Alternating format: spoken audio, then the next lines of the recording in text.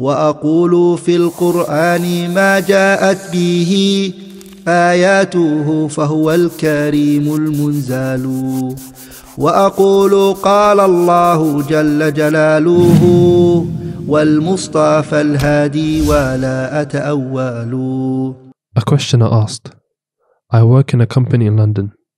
There is an elderly woman I work with who is in her late 50s or 60s. She sometimes sticks out her hand to me and I shake it.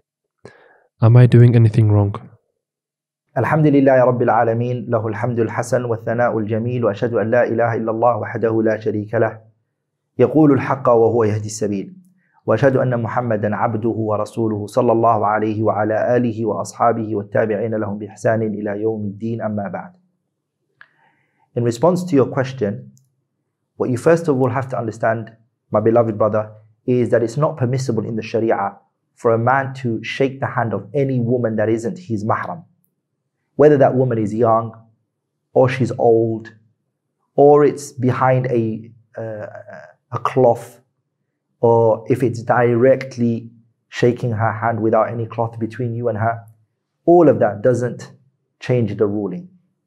Whether she's young or old, or elderly, or whether it's between you and her a ha'il, a veil between you and her when you shake her hand, you've placed a handkerchief in your hand, for example, or she's wearing gloves, or you're wearing gloves. It doesn't change the ruling. It remains impermissible.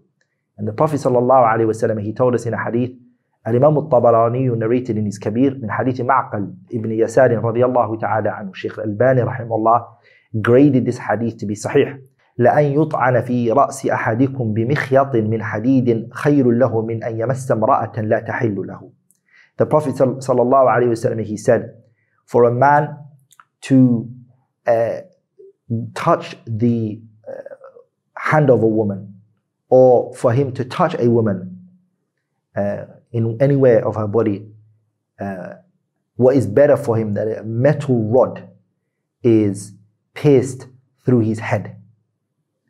Okay, that's better for him than to touch the uh, body or the hand or a part of a woman. You can see how serious that it is. The Prophet ﷺ in that hadith did not distinguish between whether she's young or old. And he didn't distinguish وسلم, whether it's between a veil or not. He didn't وسلم. Even him, وسلم, he never used to do bay'ah, pledge of allegiance with the women by shaking their hands as he would do for the men he would give them pledge of allegiance by speaking to them alayhi salatu wasalam Aisha radiallahu ta'ala anha she said والله ما مست يد رسول الله صلى الله عليه وسلم يد امرأة قط غير أنه يبايعهن بالكلام He said, or she said, رضي الله تعالى عنها, Wallahi, the messenger's hand never touched the hand of a woman whatsoever of course, she's referring to a woman that's ajnabi, a foreign from him, a woman that isn't his wife or his sister, or a woman that is not his mahram. The Prophet never touched, sallallahu alaihi wasallam, the hand of any woman. Aisha is saying this. غير أنه, except that he would what? بايعهن بالكلام. He would give pledge of allegiance to them by speech. Bukhari and Muslim narrated that on the authority of our mother Aisha. It has even been transmitted that the Prophet sallallahu alaihi wasallam he would say to the woman, if she stuck her hand out, he would say to her, Inni la usafihu nisa. I do not shake the hand of women. And Imam al-Tirmidhi and and Ibn Majah narrated it, radiyallahu ta'ala anhum, um, rahimahumullah. So if a woman tries to shake, shake your hand, you respond by saying to her, I don't shake the hands of women. As the Prophet ﷺ did. Inni la usafihu nisa. I do not shake the hand of women. Also, my beloved brothers and sisters who are listening, and the questioner himself, touching the hand of a woman is worse than looking at her because it moves your desires far greater than just looking at her. It causes fitna to come about by touching her body. And the Prophet ﷺ, he told us, ما تركت بعدي فتنة أضر على الرجال من النساء. Imam al-Bukhari and Muslim both narrated that من حديث أسامة بن زيد رضي الله تعالى عنهما. That the Prophet said, I haven't left a fitna greater for the men than women. Also the Prophet ﷺ, he said, إن الدنيا حلوة خضرة وإن الله مستخلفكم فينظر كيف تعملون فاتقوا الدنيا واتقوا النساء فإن أول فتنة بني إسرائيل كانت في النساء Muslim narrated that من حديث أبي سعيد الخدري that the Prophet ﷺ, he said this world it's green and it is glamorous and Allah Ta'ala placed you governors on this earth he wants to see what you're going to do fear Allah subhanahu wa ta'ala in the affairs of the dunya and fear Allah Ta'ala in the affairs of the women for verily the first fitna trial and tribulation that was placed on the people of Bani Israel was regarding the women also, this is the issue that will lead to zina by shaking a woman's hand. And in our religion, ما أدى إلى حرام فهو حرام. That's a principle in our religion. Anything that would lead to haram becomes haram. Because the wasa'il la ahkam al The means, they take the ruling of that which it's going to lead to. As for the doubts that some people bring, which is that Abu Bakr radiallahu ta'ala anhu, at his khilafah, he used to go out to the qaba'il he used to go to the people of the city and the villages and he would shake the hands of the women. This is weak.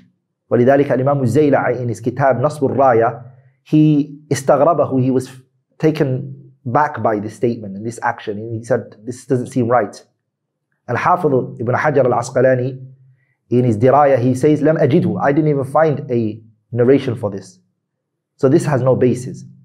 As for what was narrated that the Prophet ﷺ, he used to shake the hand of the women, min tahti thawb. Between him and the Prophet would be a veil. He would use a cloth to shake the women's hand. Then this is also weak. And there's no basis for all of this. You can look at Sheikh Al-Albani rahimahullah ta'ala, the second volume of his kitab As-Silsila As Sahiha, the second volume, page 64.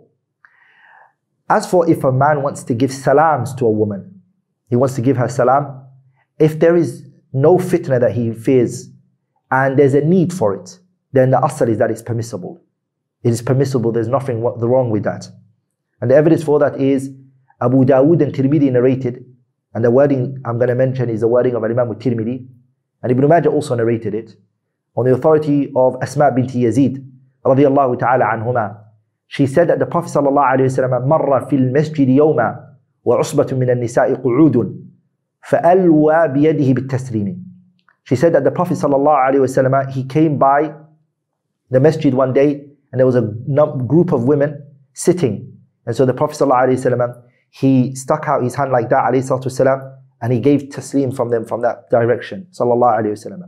Also Ummu Hani radiallahu ta'ala anha, she mentions this found in Bukhari and Muslim, this narration. She said, ذهبت إلى رسول الله. I went to the Prophet صلى الله عليه وسلم عام الفتح, the year of the conquest.